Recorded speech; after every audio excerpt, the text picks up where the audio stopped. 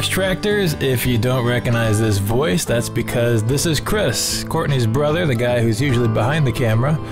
For some reason, the intro audio is just gone. It's not attached to the video file at all. So you're going to get me telling you what we're looking at here. For those of you who follow Goodworks Tractors Facebook or Instagram page, you may have seen Courtney's post about the skid steer being stuck. I hadn't seen it until this day when I was out there, which was the next day, and I was impressed by just how stuck that was. That left track is buried, it's gone. And I just thought this is going to be not as easy as I thought, and we both were hoping that the Kubota, which Courtney had already driven down there, the M4D071, 71 horsepower on that. We're really hoping that that's going to be able to pull this thing out. How did Courtney get this stuck? Well, he was trying to place a deer blind. Youth season was coming up that weekend. He was trying to get a deer blind set back there. He knew this was a soft and swampy area, but he also knew that the prior owner had used a tractor down here, cattle grazed down here, and he thought, all right, I'm gonna just test. This looks like the softest spot, this little dip. He walked through it. He drove his Can-Am over it, and then he thought, okay, I think we're good to go. Well, all right. The problem with that is Courtney weighs give or take 200 pounds. That Can-Am, we're guessing, weighs 600 pounds. That skid steer, on the other hand, weighs 12,000 pounds. So, not exactly a good pre-test of what would cross successfully and what wouldn't. But we had a beautiful day. I mean, perfect day to be doing this. Wasn't raining, not cold, there's no snow. It's a great day to be out there. I was going to be driving the Kubota. Courtney would be manning the 333G. We got walkies. We're going to talk to each other back and forth. We got two tie straps running from the Kubota to the skid steer. We're just going to see if we can pull this thing out. And now we can drop into the audio we recorded that day. Okay, I'm gonna um, I'm gonna throttle up here, but then go real slow when it takes the tension out, and then uh, you know I'm gonna be back and going in reverse while you're trying to pull forward there. So we'll just see what happens. Here we go.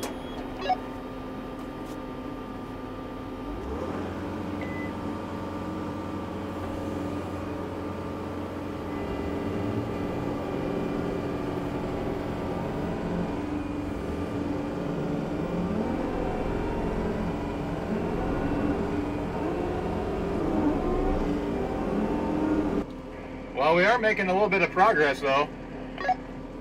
Okay, we can go forward a little more. I just don't want to get the Kubota stuck. Yeah, I gotta imagine you're doing pretty good there. How do the front tires look? Front tire, tires seem pretty good. Um, I am I am in front of the post more or less now, so we have moved. But, all right, we'll keep trying. Give me a sec. Let me know. Keep going right now.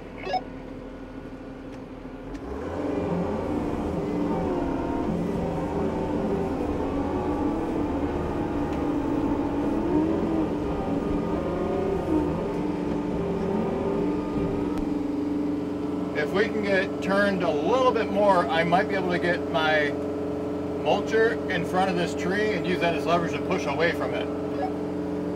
Well, I haven't been able to move in a while, but I'll see now that you moved if I can get a new position. So, ready to go.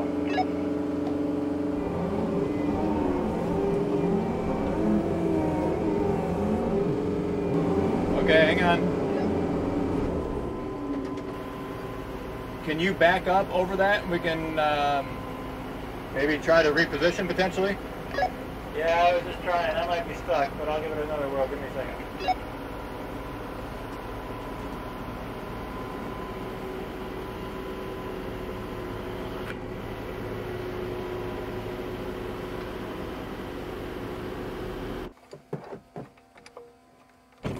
Were you able to shorten these or not? Shorten them? No. Because that would get me in a place where I'm not between my ruts pulling.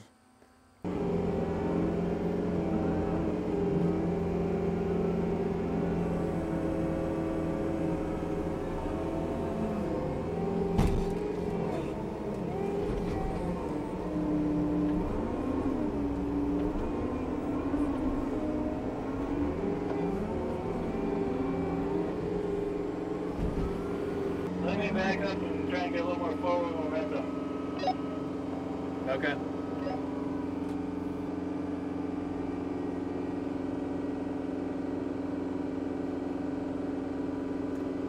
Okay, here we go. Okay.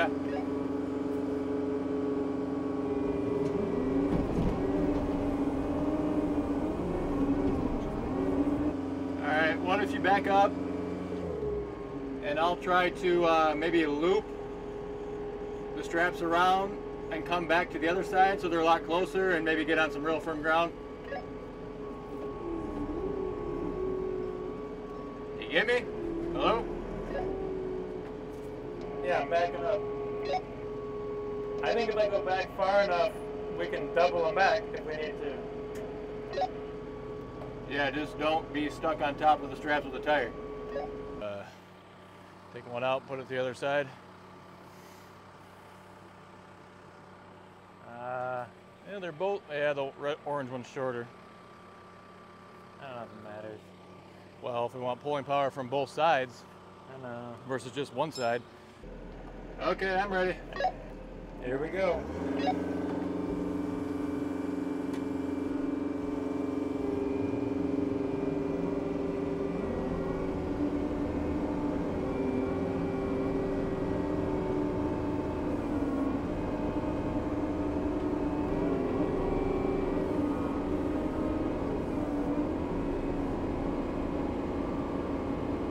I'm going to put my the mulcher down so I don't lose progress. I've moved 18 inches, but then I want you to back up and just kind of start over again.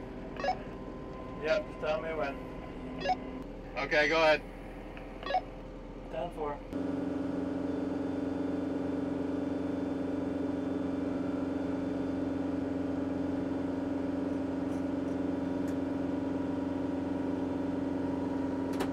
I'm ready when you are. We're going.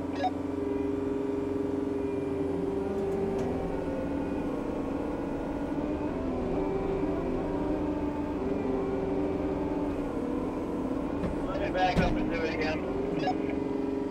Okay.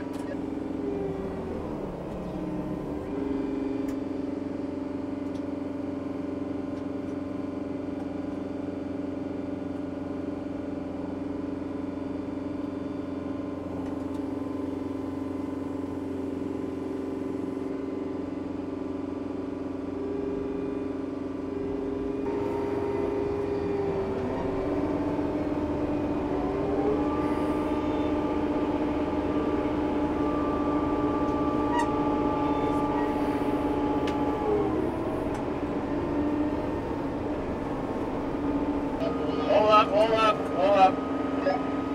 Do I have a rear locker in this thing?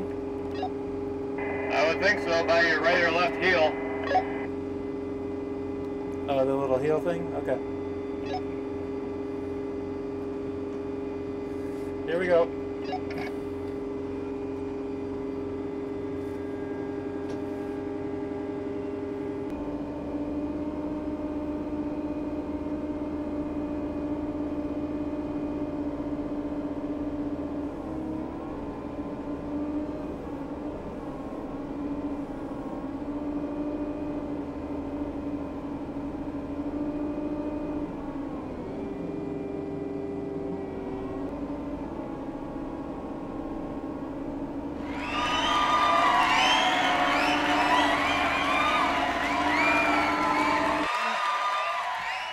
Yeah, I I should have been using that ro- locker the whole time. I I think I got distracted mid sentence talking to you because I was like getting ready to point it out, and then I realized I never did. It's not. I mean, it's weird because you're trying to use that foot for your throttle, but you can't use them both. So you have to use the hand throttle. Yeah. And uh, it's also so much resistance on that locker. Like Oh it, no, you- it's got to like find its like Yeah, gearing and drop in. Got her done. Uh, two drone batteries worth, so that was about four, 35, 40 minutes, something like that. So it didn't take too long. Just took a couple, a few repositions. What really saved the day, as much as I hate to say it, that Kubota. well, that Kubota, but it was uh, it was that locking rear differential. You know, I, I know that that made um, my list of overrated things two or three years ago, and uh, I forgot to tell Chris about that, and as soon as we did that the last time, the last kind of tug, it struggled, but it got it out of there. So um, it was just enough. You know, we were close, and you can see this this middle part where it's all smooth and flat. That's rubbing along the belly of the skid steer. That's that's as much of a problem as anything else, right? Because it's that resistance there that's doing it. Um, that's kind of holding it back and making it that much harder to, to pull out. But this stuff, it's like a, it's like lava or, soup or something. You know, it is nasty and it just, it goes forever. But this is the path I was going through. I walked right through just fine. Four wheeler just fine. It'd take years for this to dry out. I feel like it's, it's.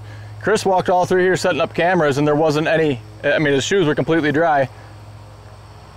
Look at those fancy things completely dry. Yeah. Obviously, that's, you know, you don't know what's hiding underneath the surface there. So, uh, a couple tow straps, a Kubota, a couple shackles in 40 minutes. Not too bad.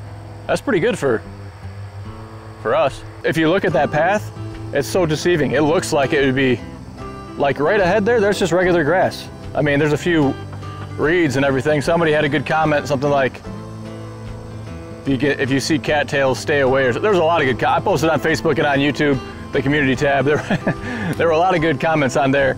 Um, you know, but we're pretty good at getting stuck. But we're getting better at getting unstuck. This was the fastest I think I've ever been unstuck. Well, that's I got that 2038 stuck in the creek, but that wasn't too bad. That wasn't a 12,000 plus pound machine in this kind of muck. So anyway, hey, well, guess what? We actually sell and ship tractor attachments all over the place, all over the country. That's what I make these videos all about is to highlight that kind of thing, not really getting my equipment stuck, but that makes for that makes for some fun video. And uh, well, I guess if you're looking for a tractor attachment, we'd love to help you out. Something for the front end loader for the three-point hitch.